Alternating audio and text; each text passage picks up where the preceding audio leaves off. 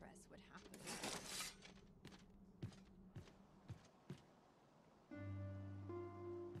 It seems we must part ways for the time being.